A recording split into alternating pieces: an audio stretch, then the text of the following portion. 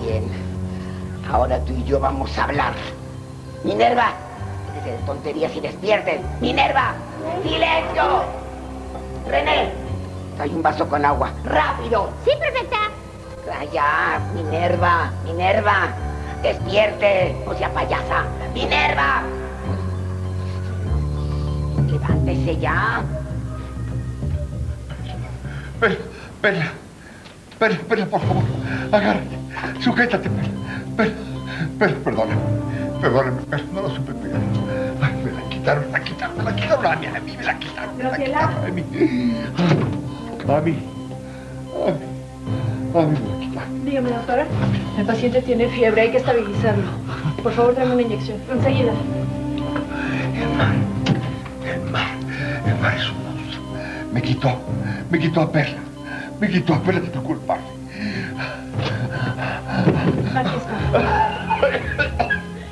Graciela, por favor, hay que prevenir a sus familiares en caso de... Pero no tiene a nadie. Bueno, entonces a Bruno, el muchacho que venía conmigo en la ambulancia. Alguien tiene que estar aquí. Por favor, cada vez se pone peor. Sí, mí, Rápido.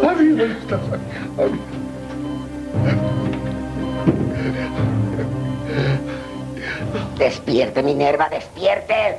Despierte. Dame eso. Vamos a ver si no despiertas ahora. Vas a ver si con esto no despiertas. ¿Qué pasó, perfecta Carlota? Mismo que iba a preguntar yo. ¿Qué haces ahí tirada en el suelo? Cuando supone que tenía que llevarme a mí. Es que me pasó algo horrible. Estaba buscando a mí. Y de repente escuché ruidos aquí adentro y pensé que era ella. Y muy decidida entré a sacarla. Pero fue horrible, fue espantoso. Fue, fue espeluznante. Fue el, el fantasma de la torre. Es horrible. Ya de tonterías, ya. Ya hable ya. Un monstruo. Vi a un monstruo descarnado que me quería agarrar con sus manos. Me dio miedo. Bien, muy bien. Ojalá que con esto que ha contado la señorita Minerva, todos aprendan que tienen que obedecerme. De lo contrario, ay, me va a dar mucho gusto encerrarlos aquí, en el ático de los castigos, con el fantasma descarnado. Sobre todo a ti, a. Ya sabes de qué estamos hablando, ¿verdad? ¿O es tanta tu curiosidad que te gustaría pasar unos días aquí? No, perfecta Carlota. Ah, muy bien. Entonces, sé una niña obediente. Y regresame la mochila, el telescopio. John, excelente, Amy. Y para que veas que suelo premiar el buen comportamiento, no te voy a imponer ningún castigo en esta ocasión. Aunque todos aquí saben muy bien lo que te mereces. Pero no importa. De todas formas, tu mochila y tu telescopio serán quemados. Tal y, como te lo advertí. Para que no vuelvas a desobedecerme. Esta noche, después de la cena, quemaremos estas porquerías. En cuanto usted, Minerva, ya deje de actuar como una tonta. Y deje a todos estos a que terminen con sus labores. Y no quiero más disturbios. ¿Entendido? Sí, perfecta. ¿Qué espera? Camine. Vamos. Pero ya.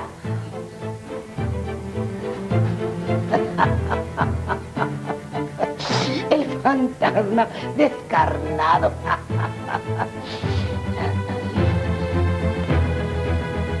Minerva, Minerva, espéreme. Minerva, espéreme. Bueno, ¿y hasta qué vamos a esperar a tu amigo Octavio? Ya tengo hambre, papá. Te recuerdo que yo no he comido nada. Bueno, nada más salió de la escuela. Bueno, Si quieres ya empieza a cenar, hijo. Voy a llamarla. sí, yo le digo, señorita. Llamó la señorita Graciela, la asistente de la señorita Emilia, para disculparla. Tuvo una emergencia y no va a poder venir. Mm, También me pidió que le dijera que va a estar de guardia toda la noche en la clínica y que si algo la puede ayudar esta noche sería una llamada de su parte. Pues me voy a cenar a mi cuarto. Que me subo a la cena, Román. Adiós, papá.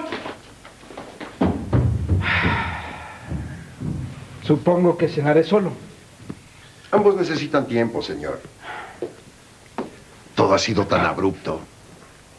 Apenas puedo creer que su hijo ya está aquí, a su lado, después de tanto buscarlo. Sí, Román, imagínate cómo me siento yo. Tengo sensaciones encontradas. A veces me dan ganas de llorar, en otros momentos quisiera abrazarlo fuerte, gritar. Me alegra verlo tan contento, señor. ¿Pero qué le dijo la señorita Leonora? ¿Cómo dio con él? Hasta donde sé, no tenía ninguna pista.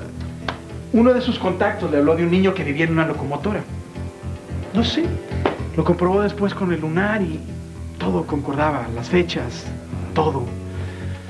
¿No te parece maravilloso, Román? El hecho que hoy nos convoca aquí es la obediencia. La primera gran enseñanza de toda institución que se precie de imponer la disciplina. A mí, da un paso al frente. Esta niña que ustedes ven aquí no sabe obedecer. Y nosotros le vamos a enseñar con el único método válido para quien se ha portado tan altanera. Le daremos una, una lección pública para que aprenda a comportarse y se convierta en una niña obediente, sumisa. El garrafón.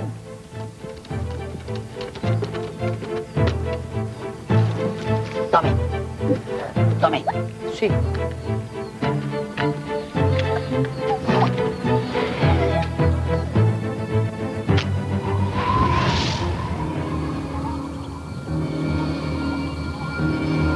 Maldita sea, ¿qué está pasando? ¿Qué está pasando? ¿Qué porquería de cerillos son estos? Prefecta, ¿Qué? creo que es el fantasma descarnado, el que está haciendo la, la travesura de... ¡Ya cállese, Minerva! Sí, me callo, pero es el fantasma descarnado. Cállese.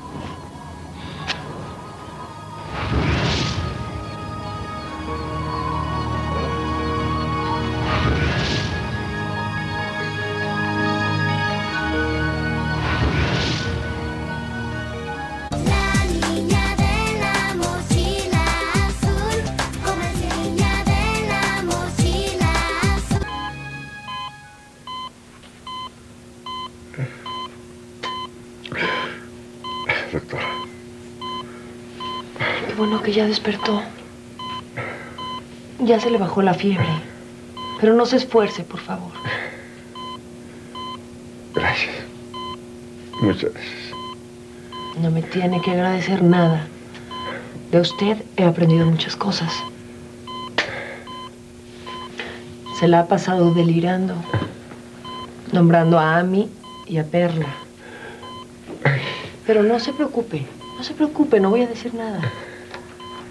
Matías, quiero decirle que, que padre es el que cría, educa y dirige a sus hijos con amor, como usted lo ha hecho con Ami. No lo diga a nadie. No se preocupe. Esto es un secreto de médico. Así. Estoy acostumbrada a guardar los secretos más íntimos de mis pacientes. Le aseguro que no es el primero. Favor. Lo que guste. Menos levantarse de la cama. Un lápiz. Papel. Sí. Quiero escribirle un mensaje a, a mí. Le quiero mandar una carta.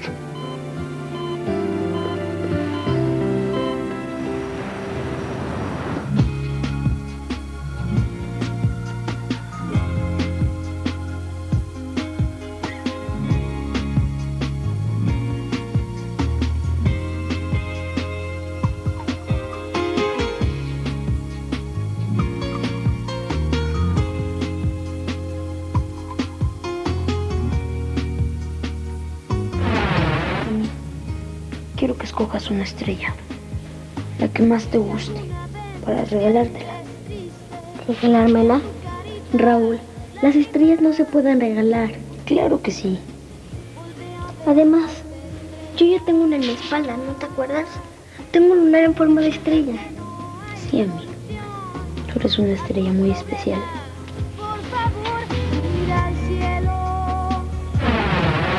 Ami, te prometo que te voy a ir a visitar. No te voy a dejar sola. Te prometo que cuando regreses vas a encontrar todo mejor. El bucanero va a estar en alta mar. Tu papá va a ser un capitán de nuevo. Vas a ver, Ami, te lo prometo.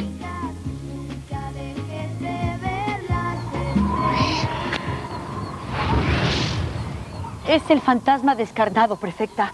Yo sé lo que le digo. ¡Cállese ya! Estoy harta de oír sus tonterías. Los heridos se apagan es porque, porque hay mucho viento. Estas porquerías de mañana no pasan. Llévate a esa bola de squinkles a su dormitorio. ¡Ya! Sí, prefecta, como usted diga. ¡Que se calle! ¡Vámonos!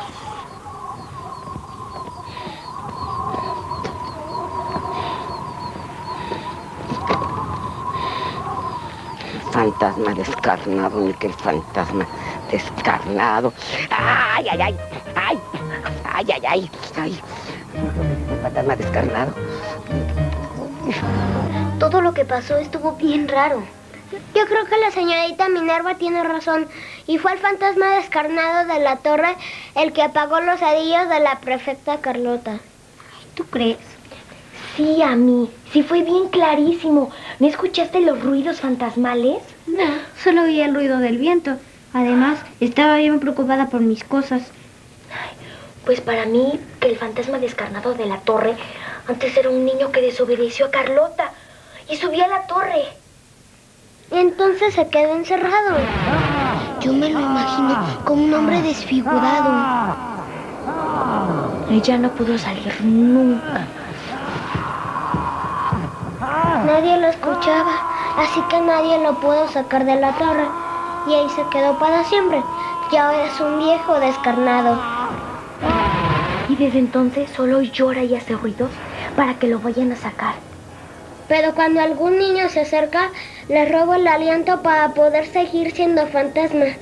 Qué horrible. Desde que llegué todo lo que he visto aquí es horrible. Bueno, menos ustedes que son muy buenas amigas. No sé por qué están aquí encerradas. Ay, somos huérfanas, Sammy. Mi mamá se murió. Y mi papá se casó con otra señora. Y desde entonces me trajeron aquí. Mi mamá también se murió. Y la mochila azul es lo único que tengo de ella. Te amo, mi delfín. Esto y el amor que siento en mi corazón es lo único que tengo de mi papito.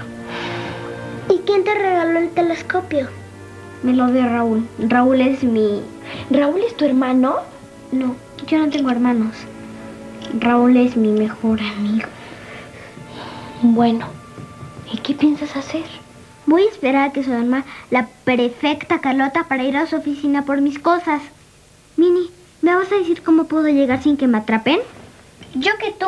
No iba, ¿eh, a mí?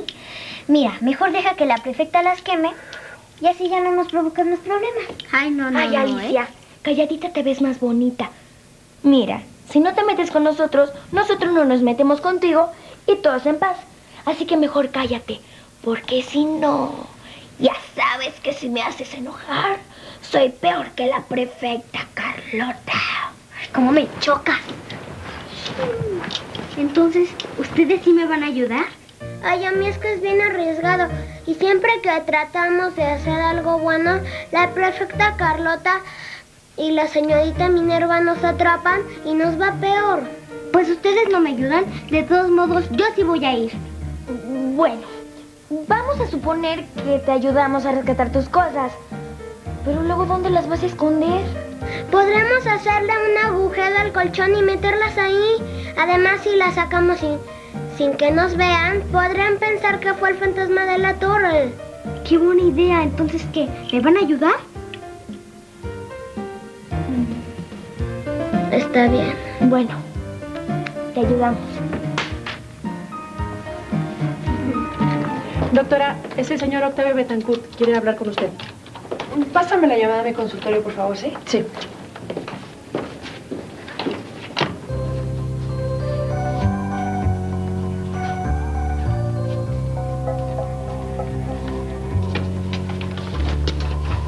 Escuchan algo raro, se regresan al cuarto. Yo me las arreglo sola. Ok. Espérense, alguien viene.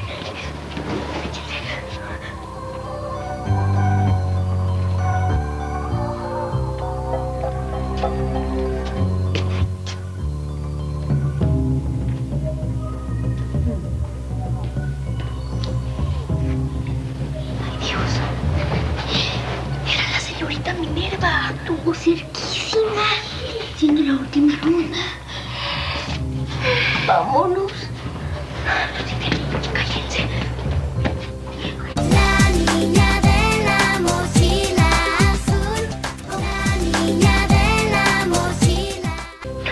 Octavio, no sabes lo apenada que estoy, pero es que tengo un paciente que parecía estable y de pronto se puso muy mal. No te preocupes, Emilia, te entiendo. Pero, ¿mañana tendrás tiempo de comer con nosotros? Sí, sí, Octavio, por supuesto. Gracias, Emilia. Oye, ¿está internado en la clínica Matías?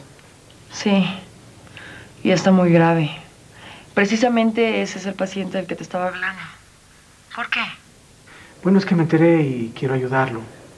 Por Ami, ¿la recuerdas la niña que fue a visitar a Cookie al hospital? Sí, sí, sí, claro, por supuesto que la recuerdo. También me enteré que a la niña se la llevaron al internado de San Felipe. Por eso Matías decía que le habían quitado a su niña. ¿Cómo dices? No, no, no, nada, perdón, estaba pensando en voz alta. Estoy pensando en que Cookie debería visitar a Ami en San Felipe. ¿Qué te parece? Ay, Octavio, sería un gesto maravilloso. ¿Me podrías acompañar? ¿A yo? Eh, Por supuesto. ¿Qué te parece si mañana muy temprano vamos a San Felipe y después comemos con Adrián? Ay, me encanta la idea, va a ser un día maravilloso. Ahora que lo pienso, sería bueno hablar a San Felipe para avisarles que Matías está mal. A lo mejor permiten que la niña lo venga a visitar y eso le va a dar gusto a Matías. ¿Qué te parece? Ay, sí, sí, sí, sí, creo que es una magnífica idea. El pobrecito está tan deprimido. No te preocupes. Yo hablo en este momento. Y de paso les notifico de la visita de Cookie y, por supuesto, de un donativo que pienso hacer al orfanato. No quiero que Amy sufra mientras esté en ese lugar. Ay, definitivamente mi corazón no se equivocó ¿En qué? Al enamorarse de ti. Eres un hombre maravilloso, Octavio.